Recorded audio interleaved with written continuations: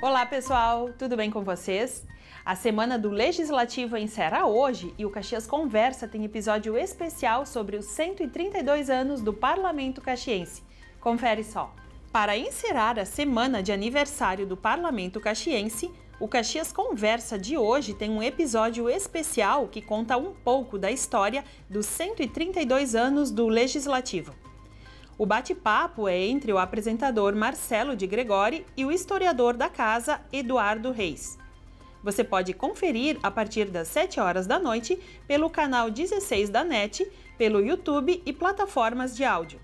Ao longo da programação, você também confere uma matéria especial sobre este momento de celebração do parlamento. E eu também quero te contar que hoje ocorre a abertura da 40 Feira do Livro, a partir das 6 horas da tarde. A 40 Feira do Livro de Caxias do Sul acontece do dia 27 de setembro a 13 de outubro e é o maior evento literário da cidade e da região. Oficialmente, a primeira feira ocorreu em 1984 e tinha por objetivo popularizar o livro e democratizar o acesso à leitura. Você confere a programação completa acessando o QR Code aqui na tela.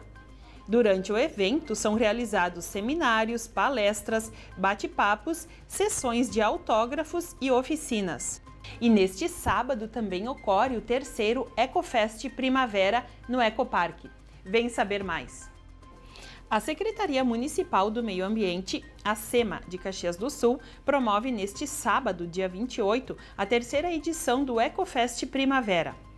O evento visa celebrar o início da primavera, que ocorreu no dia 22. A programação educativa, cultural e musical pode ser conferida pela comunidade gratuitamente no Ecoparque, no bairro Nossa Senhora do Rosário, das 11 da manhã às 5 da tarde. O evento contará com espaço EcoFood, onde o público poderá escolher entre opções gastronômicas e bebidas. E eu também quero fazer um alerta bem importante. O Hemox precisa de doações de sangue, principalmente tipos A negativo, O negativo, O positivo e AB negativo. Doadores podem comparecer diretamente ao Hemox ou agendar pelo WhatsApp no número que aparece aqui na tela. O Hemox fica na rua Ernesto Alves, número 2260, ao lado da UPA Central. O atendimento é de segunda a sextas-feiras, das 8h15 às 16h45, sem fechar ao meio-dia. E aos sábados, o atendimento é das 8 da manhã ao meio-dia. Essas foram as notícias de hoje. Tenham todos um ótimo final de semana e até a próxima!